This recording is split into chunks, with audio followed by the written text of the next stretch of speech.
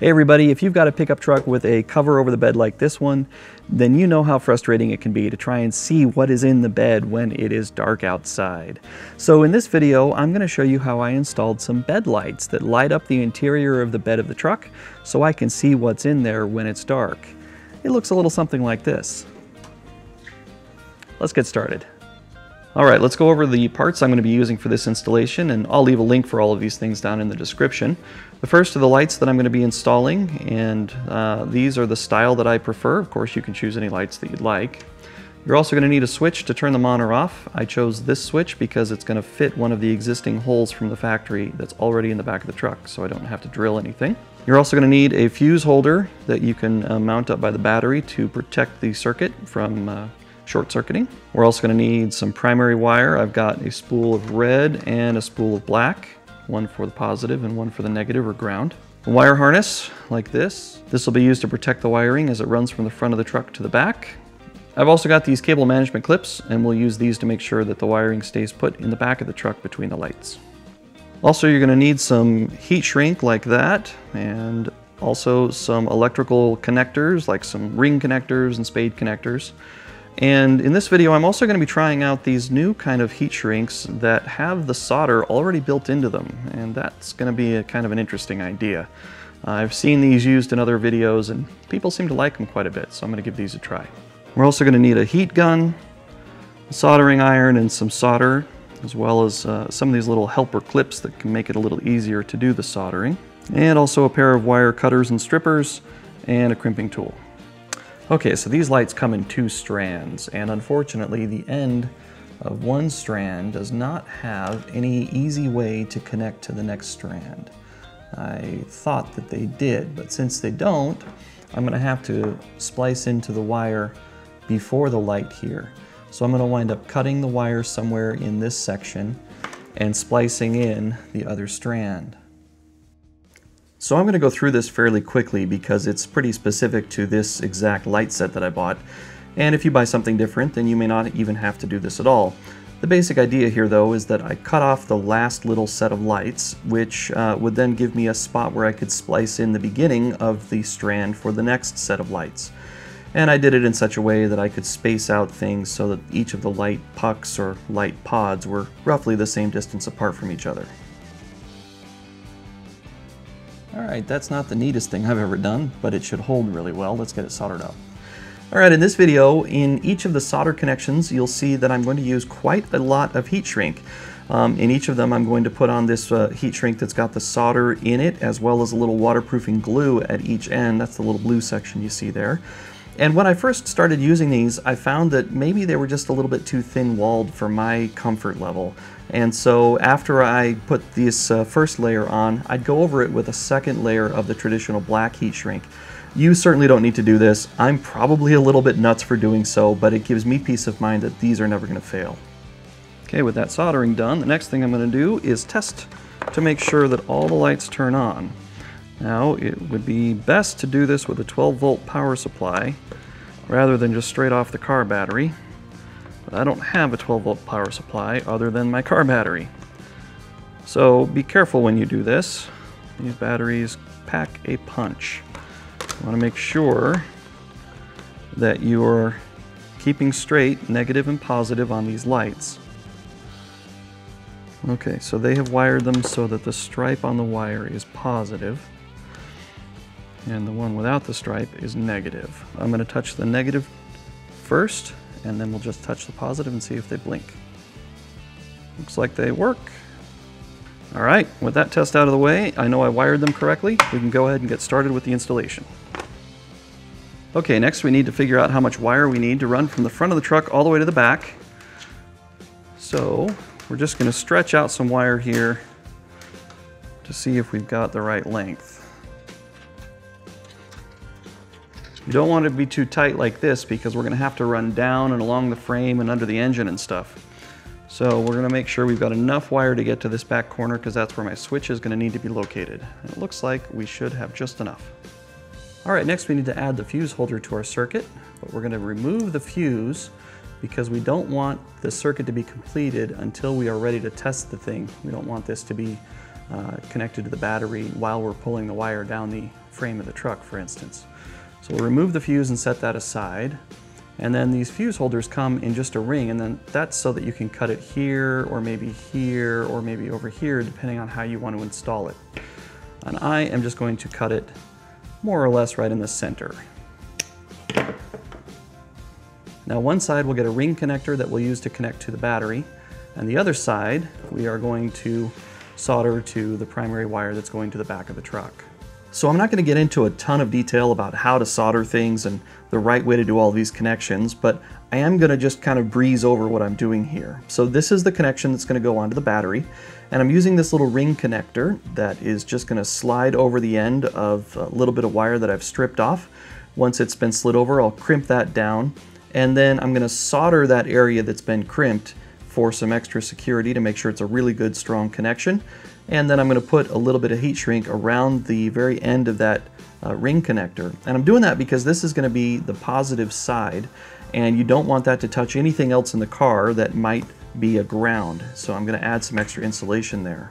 Then next I need to solder the other end of this, which is on the other side of the fuse, to the primary wire that's going to run all the way to the back of the truck and carry the positive side of the connection. And for this, it's just going to be a fairly standard uh, connection that I'm going to solder up. I'm going to use several different techniques here. In this one, I'm kind of pushing the strands of the wire together, and then I'm going to sort of squish them down and twist them together a little bit. And this is one style of making these connections. I'm going to demonstrate several during the course of this video. Feel free to use whatever soldering technique you prefer.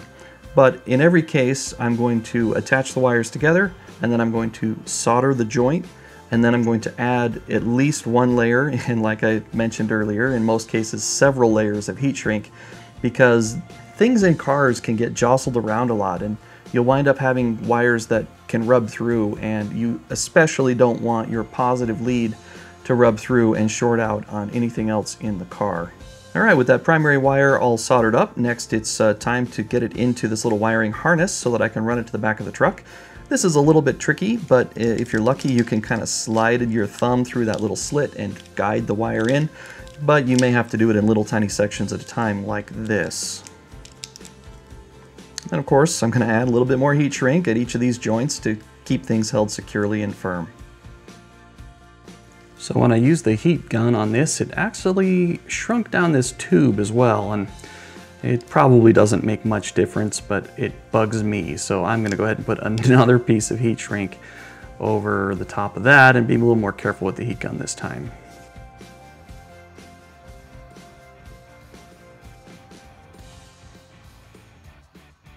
So here's a quick tip when you're working with zip ties.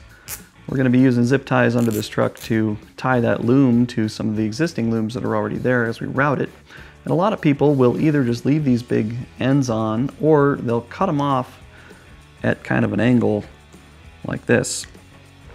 And the problem that this introduces is that this thing is really sharp at the end. And it's sharp enough that if you're reaching up under there sometime when you've forgotten that these are there, they'll scrape your arms and your hands and they'll cut your skin and they're, they're really uncomfortable to have to deal with that way. So rather than cutting that end off, it's far better if you can twist it off instead. If you twist it off right at the very bottom there where it plugs in, then you wind up with just a little nub on there that's not sharp and isn't going to get you when you're down there under the truck working in the future.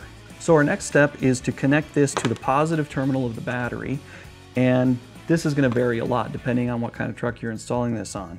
Uh, you may have posts like I've got, a variety to choose from. You may have to come up with some other way, but the, the next step is to attach this to the positive side. Now I want to reiterate, I don't have a fuse in this yet. So I'm not actually connecting all of the wire to the positive side. I'm only connecting this short section from here to the fuse connector. Once that's connected to the battery, the next thing, and again this is going to vary by truck, is to snake this wire loom down through the body of the truck possibly along the frame or maybe even inside the frame all the way to the very back and get it to come out where you need to install your switch. Now I'm not going to give you tons of detail on this because it's very specific to the exact truck that you're installing on, but I will give you some uh, flavor of what it's like to try and run this. So we need to connect that ring connector on the end of my positive lead to the positive side of the battery.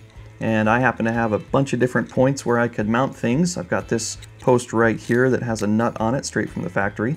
And I'm just gonna slide my ring connector over that, put the nut back down and snug it down fairly firm but not too tight.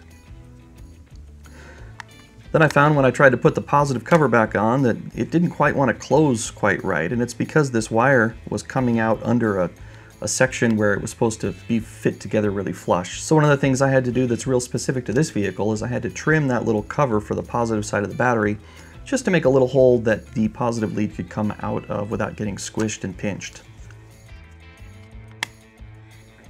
So with that cover all buttoned up, next I needed to plan the route I was going to take with my wiring harness to get it from the front of the truck all the way to the back. And I started this by just poking around under the battery area with a flashlight where I found an existing wiring harness from the factory and I decided to just parallel that all the way back as far as I could.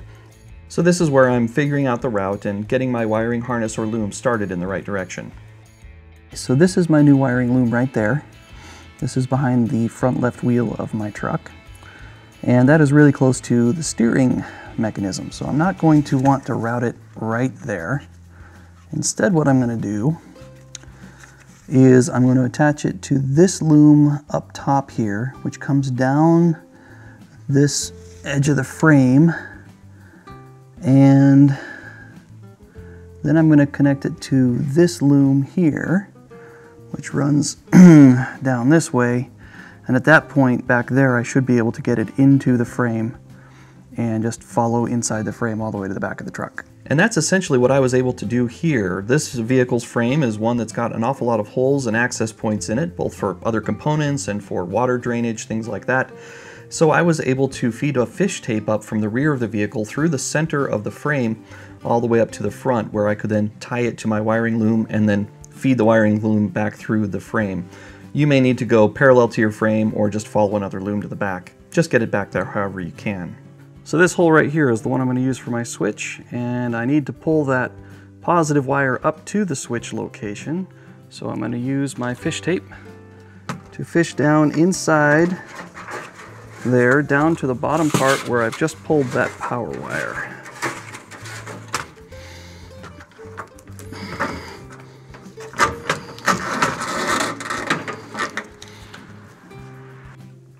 All right, now getting the power from the front of the truck to the back of the truck is probably going to be the most frustrating and kind of time consuming part of this entire project. At least it was for me. From here on out, there's a lot of electrical connections to make, but nothing terribly difficult. As a brief overview, I'm going to be putting my switch into the positive side of my uh, circuit, and then I'm going to connect the positive lead that now has a switch on it to the positive side of my lights, and then I'm going to connect the negative side of the lights to a wire that's going to run straight to the body of the truck, which is going to serve as the ground for this circuit. Up until now, I've given you a fair bit of detail as far as each of the connections that I'm making and how I'm doing them, but I'm going to kind of pick up the pace a little bit here because once you've seen me solder one connection, you really don't need to see them all. Now I used spade connectors for my switch because that's what the switch used, but yours might be different, so you'll have to adapt the instructions and adapt what I'm doing here to fit exactly the parts and the vehicle that you're installing this in. This is going to be the location of the switch, but I want the wires for the lighting to come out of this little crack right back here. So I need to fish the other half of the positive that's going to go to the switch from this hole back to this little crack right here, which will then come out to the lights themselves.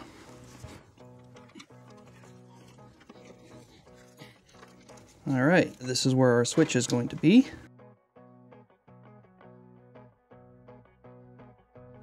Okay, with that, the switch is wired up.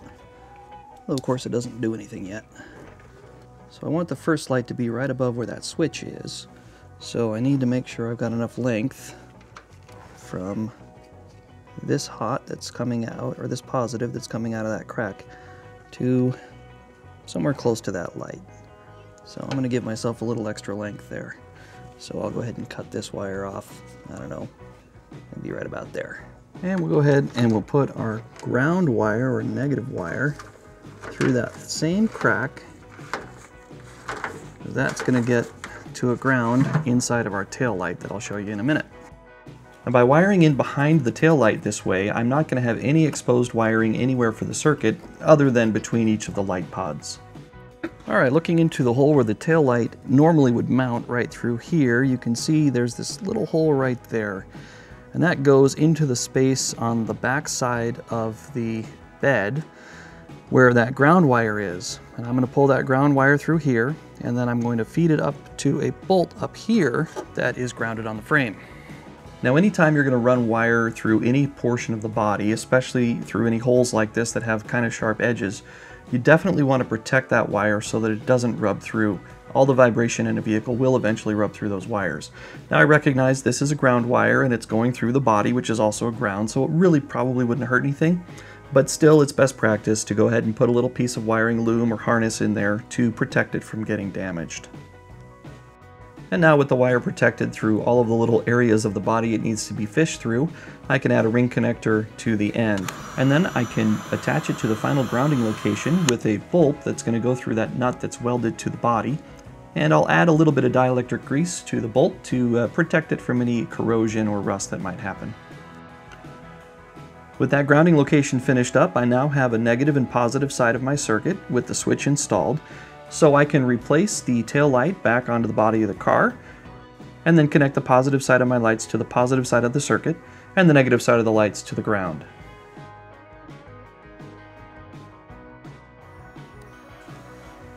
And with the circuit now completed, I'm going to wrap all of that in one last piece of wiring loom because it's going to be fed through a little section of the body at the back of the bed there. And then we can move on to testing our lights. All right, we're ready for our first test, but first we have to put the fuse into the fuse holder. There we go. then we can come to the back of the truck and try the switch. Woohoo, they work.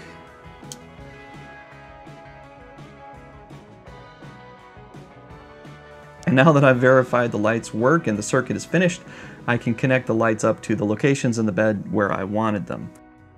I'm just using some automotive grade double sticky tape here for the mounting.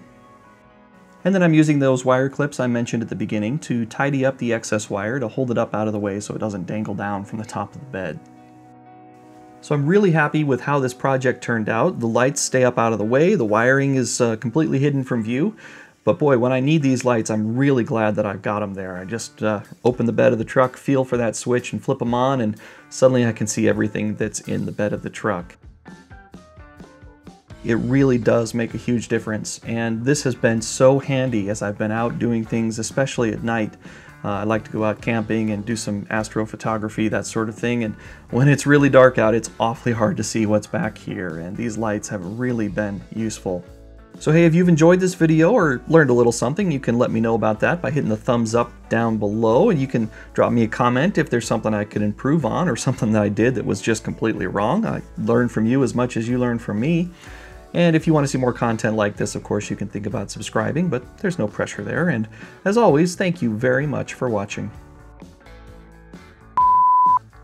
And I've also got some of these cable management clips, and we'll use these for dropping all over the garage floor. I chose this particular kind because I wanted this particular kind. You can choose whatever kind of lights you want, but in this video I'm going to be in showing... oh, it's going to be fun today. I'm already tripping over myself. Oh, but I found you. Hang on. Don't do anything. Hold still. Oh, shoot. And let's make sure it's actually recording, shall we?